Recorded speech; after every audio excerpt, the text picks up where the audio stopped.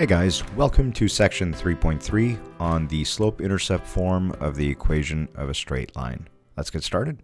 So, just as a review from what we did in the previous section, given any two points on a plane, we can always find the slope of the line connecting them. So if we're given two points x1, y1 and x2, y2, we can connect the two dots and make a line between them, a straight line, and the slope of that line can be found by this formula, y2 minus y1 over x2 minus x1. So this is stuff that we've done before. Now, the two points, again, can be used to find the slope of the line connecting them. Those two points are obviously on the line itself. So that's, I mean, if you're making a line passing through these two points, the two points have to be on the line itself. But more importantly, they're solutions to that line, meaning if you were to plug x1 and y1 into the equation of this line, you would get a true statement. If you were to plug in x2 and y2 into the equation of this line, you would get a true statement as well. So now the question becomes, well, how do we find the coordinates of other points on this line that we get by connecting those two dots? And is there a way to generate all other points on this line or all other solutions? So if we were to do this, well, we just know that there's two points on this line and that both of them are solutions. But what if I wanted to find the location of this point? What about this point? What about this point? And all the other points that also happen to be solutions. So in mathematics, we are fundamentally motivated, at least at this level, by wanting to try to solve equations. We want to try to solve equations, and when we solve equations, we get potential solutions, and we verify them to be solutions. So in this case, we have two of them. How is it that we can generate, or is there a way perhaps, that we can generate all the other solutions or all the other points on the line? The answer is yes. We can actually do both by finding the equation of a straight line, or in this case, of the straight line joining those two points. And before we start on how to find the equation of a straight line, we need to recognize that it comes in three forms. All three equations give the exact same uh, graph when you were to graph them. So if you were to graph an equation that looks like this or is in slope-intercept form, the graph of this line will be the same as the graph of this line if the equation were written in point-slope form. And finally, if you're given an equation in standard form, which is this, the graph would end up being the same. So it's kind of like eating steak. Now, if you want to have your steak medium rare, that might be one form of eating a steak. If you want it medium, that might be another form of eating the steak, but you're still eating the same cut of meat. You're not all of a sudden turning it into a piece of chicken. And if you want it well done for some reason, well, then you can have it in standard form. So that would be a third form of the same entity. So when we find equations of straight lines, we can answer or we can represent the answer in three forms. We can say, hey, the steak is cooked medium rare, it's cooked medium, or it's well done. But all three are still steak. So when we have equations of straight lines, we can represent the answers in three different forms. They all represent the same information. So a little more about slope-intercept form because that's what this section is on. The slope-intercept form equation or the form is y equals mx plus b. I'm sure you've seen this before. I would caution skipping through this slide because there's going to be other things that maybe you haven't seen before. So when we write the equation of a straight line in slope-intercept form, y and x must be variables. Those have to be variables, or there must be some variable in place of y, and there must be, there must be some variable in place of x. X, remember, is the independent variable or is the input variable. Y is the output variable or the dependent variable. The only two constants in this equation are m, which represents the slope, and b, which represents the y-intercept. Now, I know we haven't found, or we haven't really talked about the y-intercept yet, but we will very soon. So slope we can find by using y2 minus y1 over x2 minus x1. We've done this before. And remember that it's a constant. It's some number. So it might be positive, it might be negative, it might be zero, it might be undefined, it might be some sort of weird fraction. But it's when you write the equation of a line, it the m or the slope must be a constant. And the y-intercept can be found by setting x equal to 0. So in this equation, let's do that. If x is replaced by 0, regardless of what m is, m times 0 would simply be 0. And then you're just left with y equals b, because this term would just cancel out. Multiplication by 0 would turn this term into a 0. So we find the y-intercept by setting x equal to 0, and the coordinates are always if x is 0, whatever you're left with here, we call that the y-intercept.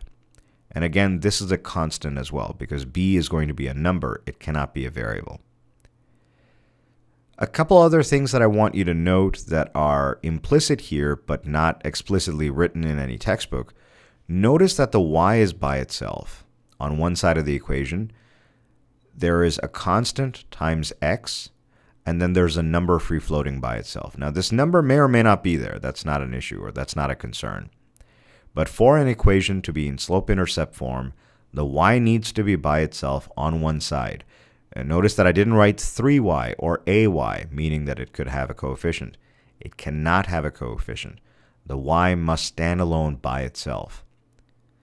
So, actually, I'm going to talk about that later.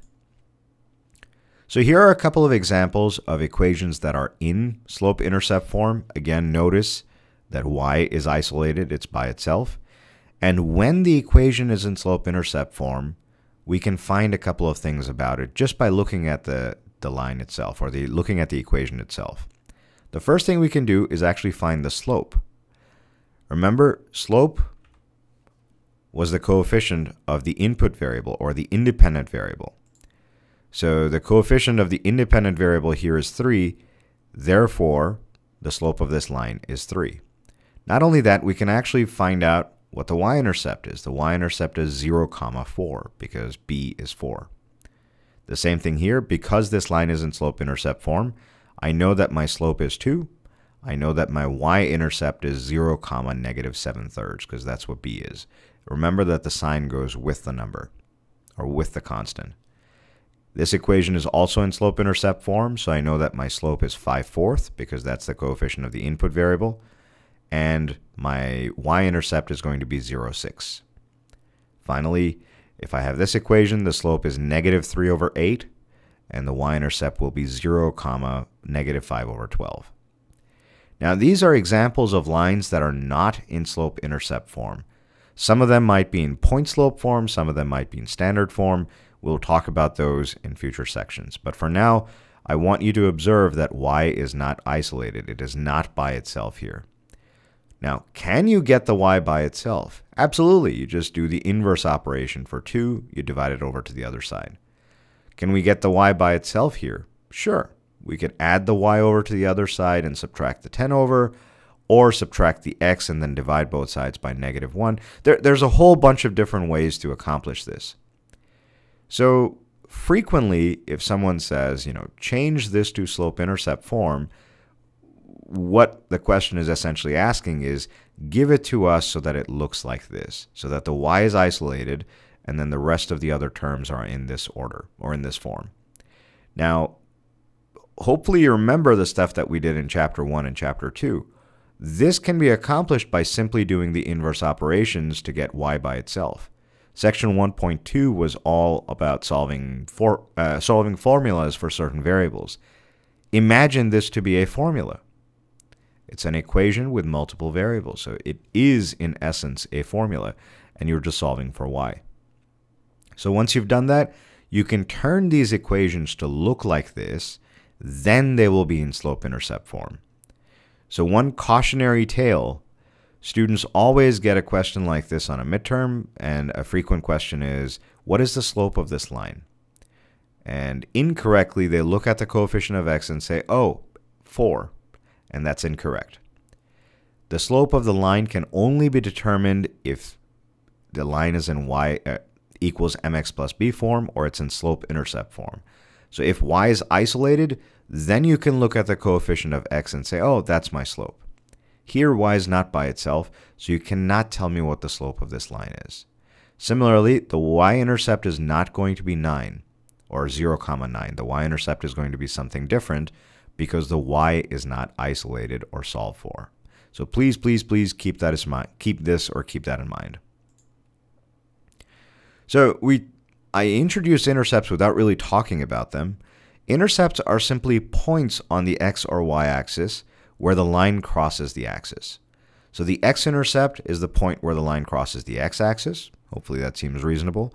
And the y-intercept is the point where the line crosses the y-axis. So uh, on a graph or on a picture, x-axis, y-axis, we have a line. Hopefully you understand that in order for a point to be on the y-axis, it's not really moving to the left or to the right on the x-axis. So the x-coordinate for any y-intercept, whether it's here or whether it's here or whether it's here, if a point is to be on the y-axis, the x-coordinate must be 0. There is no choice in the matter. It has to be 0. And then whatever the y-coordinate is, that becomes the y-intercept. Similarly, for the x-intercept, if you're saying that there's a point on the x-axis, excuse me, the point is not going up or down. It's just going left or right. So if it's going horizontally, there is going to be some x coordinate here. It'll just happen to be negative.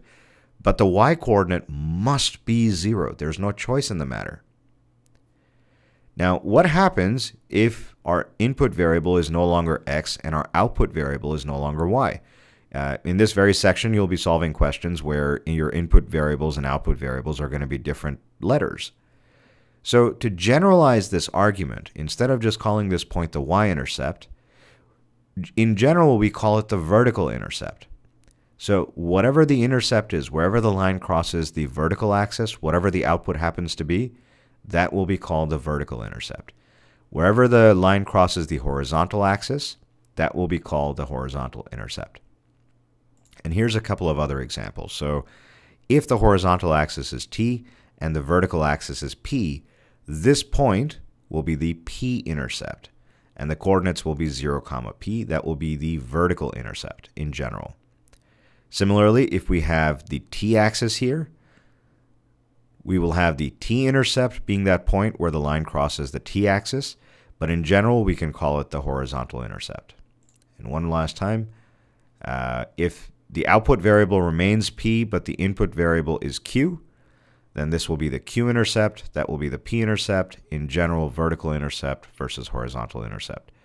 So don't freak out. A vertical intercept simply means find the point where the line crosses the vertical axes. The horizontal intercept simply means find the point on the x-axis where the line touches or crosses it. So up until now, all the graphs that I've shown have had two intercepts, a vertical and a horizontal.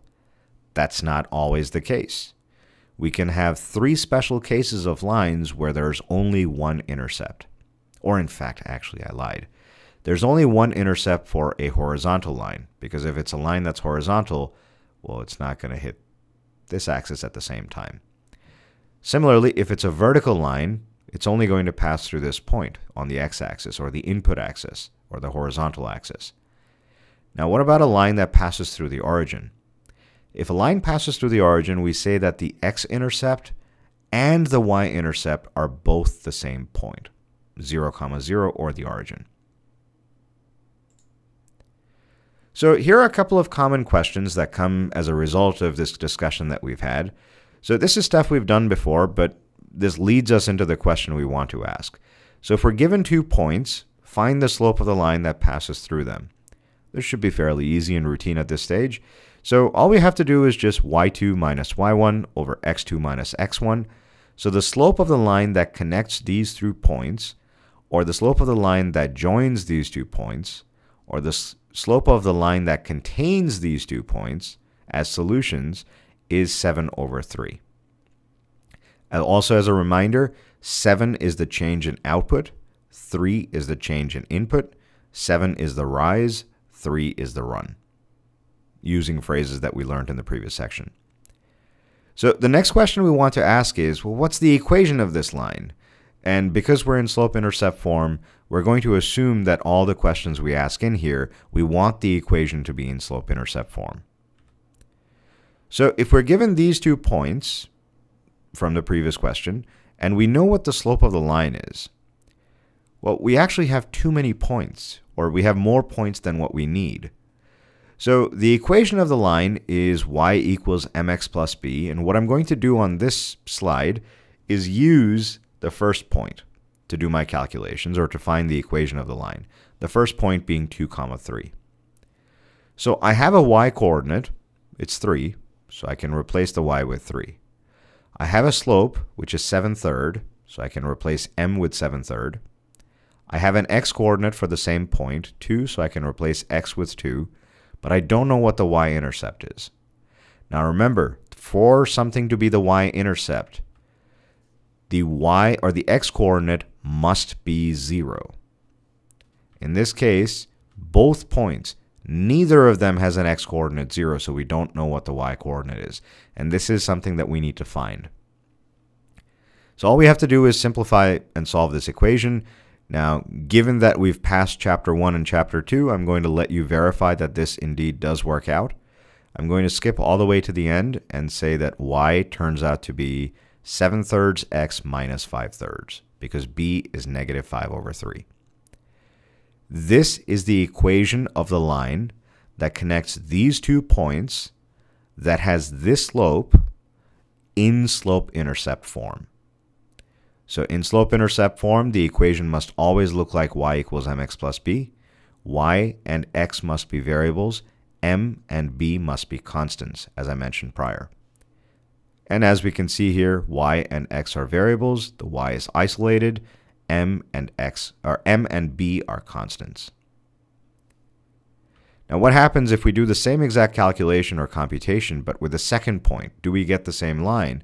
The answer is absolutely. And hopefully you're predicting that that should be the case. The equation of the line does not change based on which point you pick on it, because the equation of the line generates all the points on the line. So if we do the same thing, y gets replaced with the y coordinate 10, m gets replaced with 7 third, because that's the slope of the line, x gets replaced with the x coordinate 5, and b is the y-intercept. We don't know it. Or let's say that we had never done the computations using the first point, you just started doing this problem using the second point. Again, I'll let you verify that this works out the way it does. And then finally we get y equals 7 thirds x minus 5 thirds, which is the same exact equation we had on the previous slide. 7 thirds x minus 5 thirds, 7 thirds x minus 5 thirds. So again, once we have the slope, all we need is simply one point. We don't need two of them to come up with the equation of the line. Now, if we have two, we can either choose the first one or we can choose the second one. And what happens if we have five of them? It doesn't make a difference. You can choose the first, second, third, fourth, fifth. It doesn't matter which point you pick. The equation of the line, if you do it correctly, is always going to turn out to be the same. Now, just to graph this so that everyone kind of sees that the what we've found. So 2 comma 3 is right here. 5 comma 10 is right there. And if we connect the two dots, we get this long line. Now, if we were to continue this line all the way here, it would hit at this point, which would be called a y-intercept because that's the vertical axis currently, or that's the label we're using. And for the y-intercept, the x-coordinate must be 0 because we're not going left or right. And negative 5 thirds was in fact what b turned out to be. So our graph makes sense, hopefully. Now, how much did the output change by? Well, it changed by 7. So to go from 3 to 10, we have to change the output by 7. And then to go from 2 to 5, we have to change the input by 3.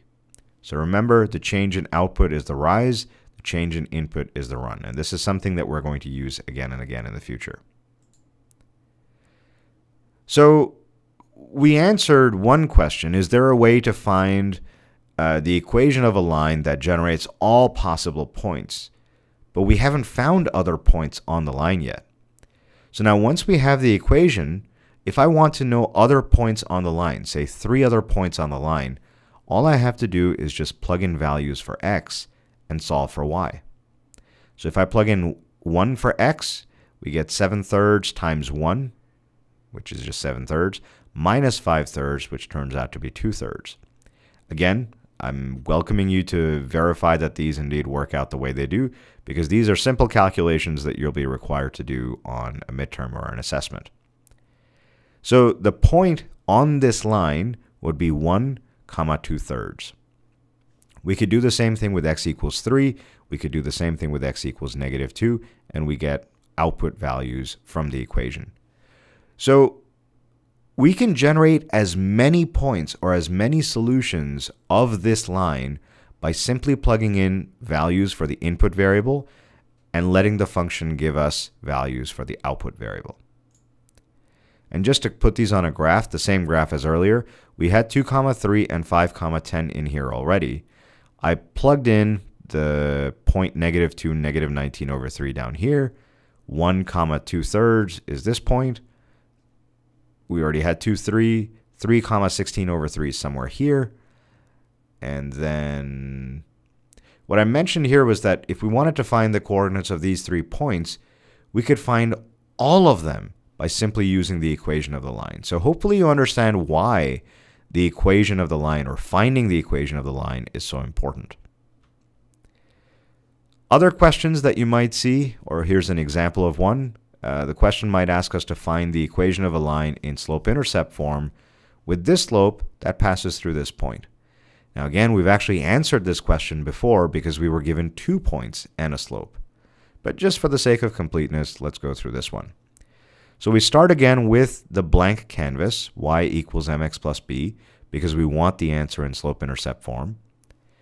y gets replaced with 7 because that's the y-coordinate m gets replaced with 3 halves because that's the slope, x gets replaced with negative 5, and then the question becomes, hey, can you solve for b? This is simply solving a linear equation in one variable. It's a linear equation, or it's an equation because it has an equal sign in it. It's linear because the greatest degree is 1. So this is a linear equation in one variable, one variable because b is the only variable here. So we can solve this using the techniques we learned and practiced in chapter 1 and 2, and then eventually b turns out to be 29 over 2. So the equation of the line, again, as a reminder, in slope-intercept form, y and x have to be variables, m and b must be constants. And the slope was given to us as 3 halves, so we didn't have to find it. It was just given to us. We simply needed to find our y-intercept. So that goes here, and this gives us the equation of the straight line that passes through this point and has this slope in slope intercept form.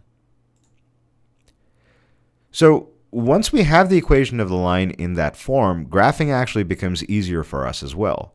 So you can follow these two steps to simply graph the line if you're given the equation of it in slope-intercept form. The first thing you do is you plot the y-intercept or the vertical intercept because the letters might not be x and y. And then the next thing you do is you plot the next point using the slope, and I'll explain this in a second. All right, so let's take a look at this example. Let's say we have to find the graph of y equals 2x plus 3 using the slope and the vertical intercept, or in this case, the y-intercept. The first step was to find where the y-intercept is. The y-intercept is at 3 because that's what b is. So we put a dot there. And then what we can do is use the slope to find another dot by simply changing the input and the output by the slope. So remember, the numerator of the slope is the change in output. That's how much the rise is. And the denominator, well, 2 is the same as 2 over 1. The denominator is the change in input. That's how much the function changes by on the x-axis. So if it's 2 over 1, that means that the slope changed by, or the y-coordinate changed by 2. So we go up by 2 units. And then the denominator is 1. So we know that we have to go 1 unit to the right. So if this is my first point, another point on this line can be found by simply going up by 2 units and to the right by 1 unit, putting another dot here, and then connecting the, the, connecting the dots to create the line. Let's take a look at this one. So we have a similar question graph p equals negative 3 over q minus 1, negative 3 over 4q minus 1, using the slope and the p-intercept, where p is the dependent variable. Remember, dependent variable is the output variable. that means this is kind of like our y, this is kind of like our x, but not really because these are their own separate variables. So we can graph the q-axis, which is the horizontal axis. We can graph the p-axis, which is the vertical axis. We know that the p-intercept is negative 1, so we come down 0, negative 1, which is this is my going to be my first point. And then my slope is negative 3 over 4. That means that my change in output has to be negative 3, which means I have to go down. Had it been positive 3, I would need to go up to change the y value by 3. But if it's negative 3, I need to go down by 3 units. So I'm right here. And then the denominator represents the change in the horizontal axis, or the q-axis. So I have to go 4 units to the right.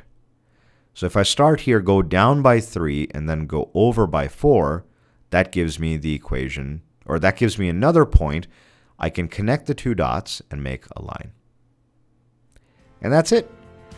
As always, if you guys have any questions, please feel free to reach out. Have a nice day.